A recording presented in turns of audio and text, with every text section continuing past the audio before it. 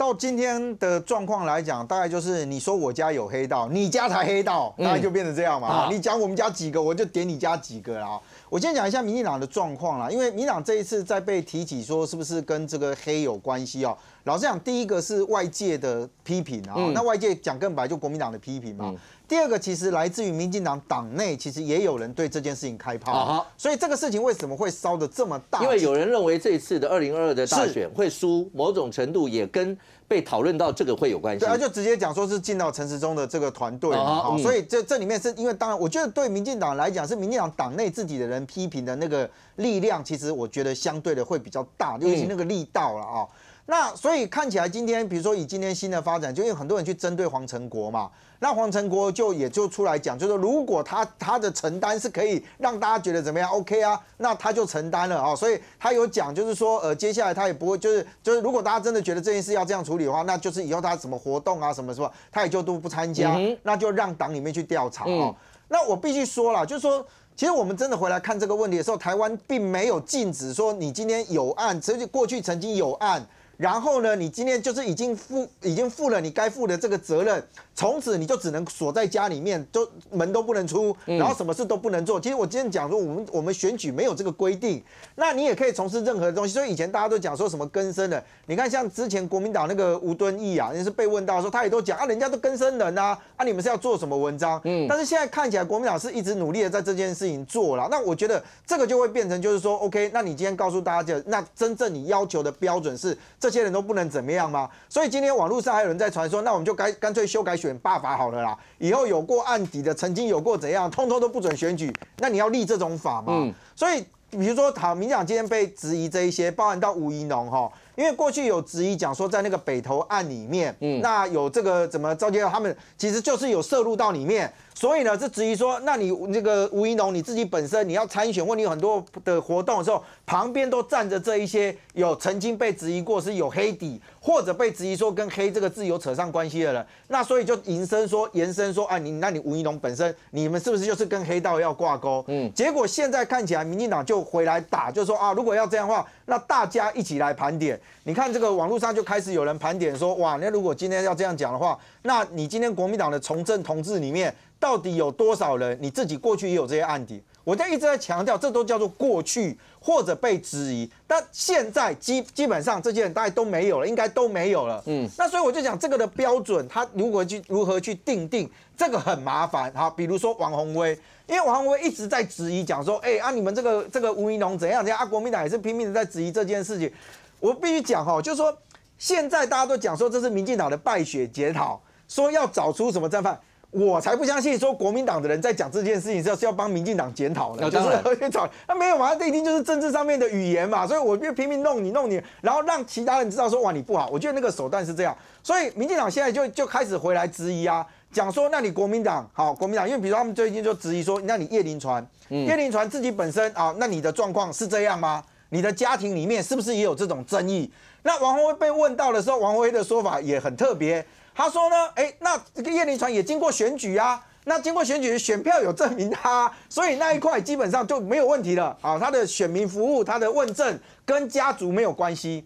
那如果用同理可证的话，因为这个是逻辑是国民党的回应嘛。那如果同理可证，那你是不是也要找出来？就是你们现在质疑的这个人，比如说吴怡农哈，他真正自己跟这些事有什么关系啊？然后就讲说啊，你做什么台北市党部主委啦，什么什么。那结果现在都一大堆啊，你们这边也有什么主委的啦，也有什么的一堆啊。所以我觉得这整件事情，老实讲，它就是乱的。嗯，乱的意思就是说。真正在批评跟质疑这些人，是真的在乎这个党好吗？我想国民党去讲说帮国民党帮民进党清党，那谁知道你的这背后的想法是什么？所以我觉得今天到现在为止啊，但民进党必须要处理一件事情。我认为民进党要要说服的其实是，他们现在口中说，在这一次二零二二选举里面，因为有人对民进党失望，所以这些人没有投票。这个讲法后面的那一层意思是，那我二零二四他有机会还是会出来的，他不是跑掉。可是如果今天这个争这个争议这么大，我觉得民进党可在面对这个争议上，不是要去满足国民党，因为民进党也不在乎国民党，不然就不会你讲我家我讲你家这样子。可是你能不能透过这些所谓的呃大家眼中认为的改革？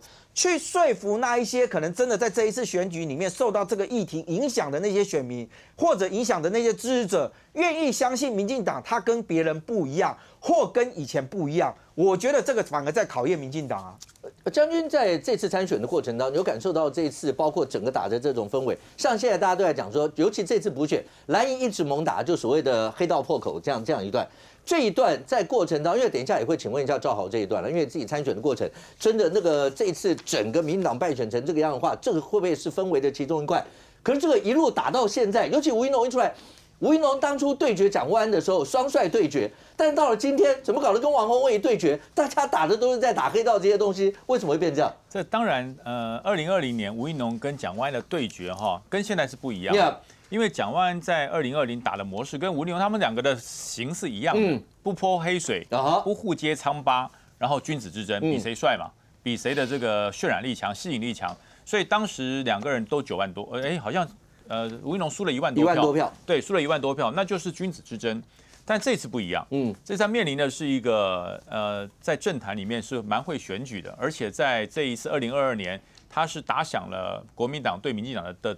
第一个攻击手就王宏威啊，论文案对，然后在法院门口几乎都是他的，从论文到周玉蔻都是他打响的，对，所以他打的并不是一个正规的选战，嗯，而是一个隔山打虎，嗯，他从台北市打桃园，然后打响了之后再回到法院前面，再跟周玉蔻来一个这个犀利的对决，所以他的这个政治的细胞远远超过蒋万安，嗯，那更不要说吴一农了。其实吴一农的政治细胞，我觉得还不如蒋万安。嗯，因为吴一农是一个非常呃非常美美化美式的一个一个孩子，他六他应该六七岁吧，就到美国去，一路一路。你光看吴一农在这两天，那当然王宏威当就就蓝营应该讲蓝营也有也有一直不断的在把这件事情渲染，就是那个联访的那件事情。对，你就知道吴一农是比较美式随性，他是他是。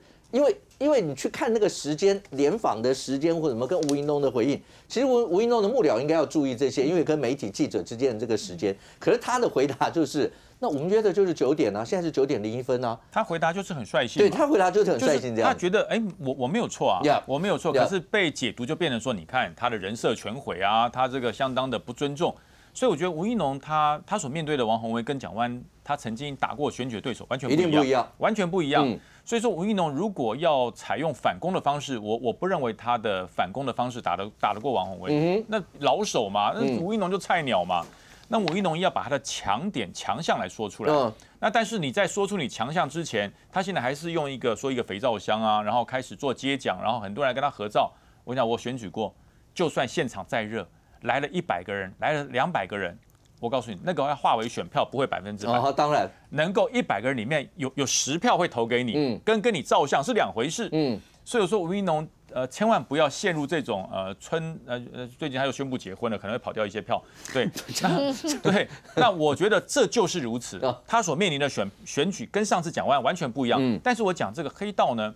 我觉得没有道理。还有人说，那你们民进党要的话，你们就立这个黑道条款啊，所有这些根生人犯过错都不准选举，这不人道。嗯，我觉得不对。嗯，我个人觉得不对。当然，你真的要列说犯过错的人永远不能选举，我觉得这不人道。不是啦，黑道的问题不是在讲你以前有没有过有没有过那些案底或是前科，应该是讲你现在是不是还是黑的啦。黑道这个才是最最重要的。黑道的定义不是你犯过错是吗？而是你还有没有在从事黑道工作？我觉得这才叫黑道的定义。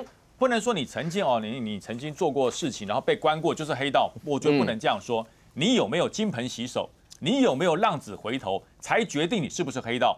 如果只片面说哦，你又被管训过，你被关过，你就是黑道。我觉得这对根生人不公平。嗯。所以我觉得黑道的定义要非常的清楚。那么这现在你只要是抹黑人家说你是黑道，我就要拿出证据啊。嗯。就跟当时高环讲的一样，例如例如你讲出来嘛，你说。